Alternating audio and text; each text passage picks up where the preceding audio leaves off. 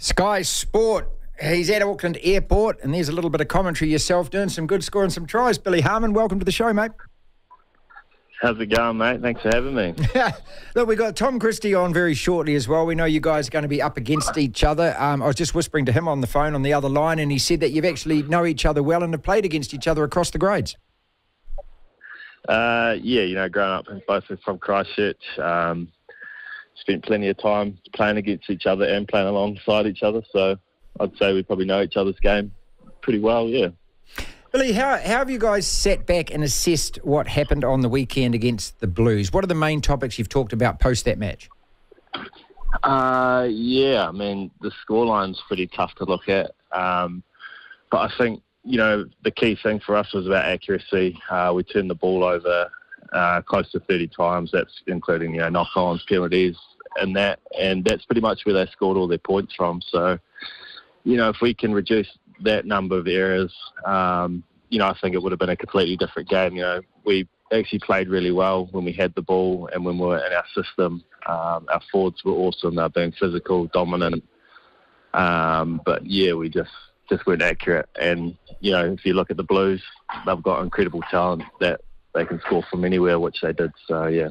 Well, it sounds like you're not too down in the dumps about it, and I was hoping you'd say that because the scoreline really did blow out. And Billy, it left a lot of us asking, what are the Blues that good or were the Highlanders that bad? And I don't know whether it was a bit of both, but I don't think it was probably sort of equally extreme on either end, if you know what I mean.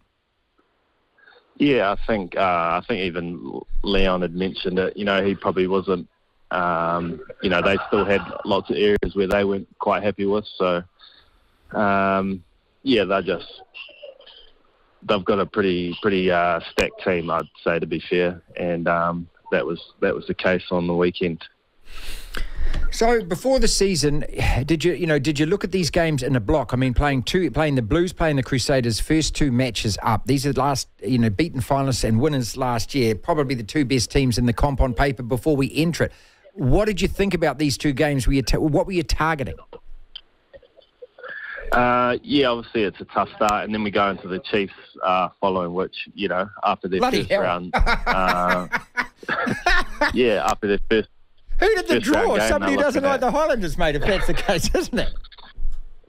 Yeah, I mean, I think Highlanders are never in the, uh, they're always on the, the worst end of the, the draw usually. Um, but, you know, we're going to beat sort of every team. We want to we want to be uh, champions, so uh, it doesn't really matter too much uh, who we've got. But I think the coaches looking at it, they wanted to give everyone a crack in those sort of first three rounds.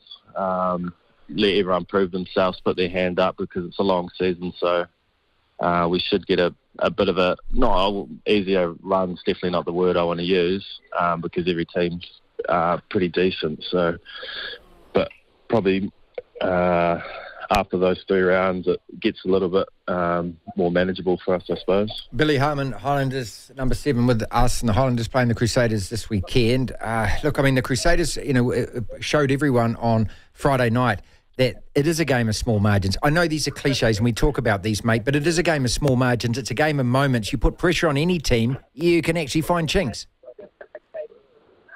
Uh, that's exactly it. You know, Chiefs played in the right parts of the field, um, and when you do that, you start to build pressure, and then uh, anything can happen from that. So, Chiefs played really well. They showed, uh, I suppose, a good blueprint for anyone coming up against the Crusaders. Um, so, yeah, but you know, the Crusaders are going to be.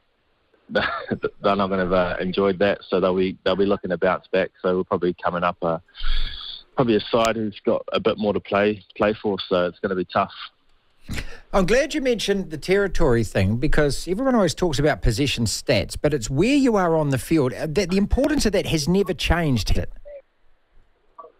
Nah, absolutely not. And I think um, Crusaders are usually really good at um, their kicking battles and playing in the right parts of the field.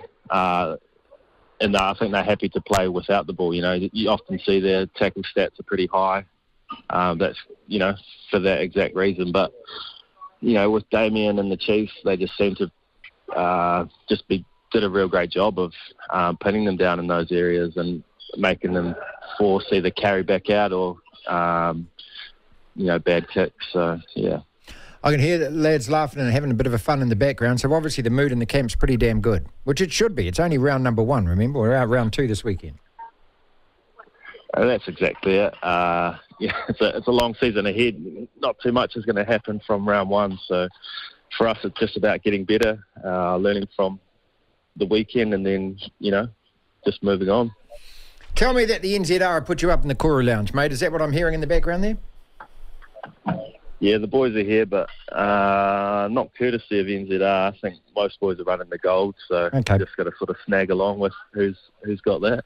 And what, your seat number is 64G, is it? Yeah, tucked away in the back somewhere. Yeah. Hey, look, all the best. Probably. I know. Sorry, mate, keep going. No, no, probably squished in between. You know, probably a couple props as Yeah, well. So yeah. it'll be it'll be enjoyable. Yeah, get off my armrest, mate. Yeah, establish that early. It's very important. It's like ascendancy Yeah, up front, yeah. isn't it? Hey, look, uh, all the best for Melbourne. I know it's I know it's a special round, and I know that you guys look forward to it. Um, and uh, one hell of a game against the Crusaders. Uh, play well, mate, and stay injury free for the rest of the season. Play well. Awesome. Cheers, mate. Good to talk. Good to talk too. Billy Harmon with us from the Highlanders.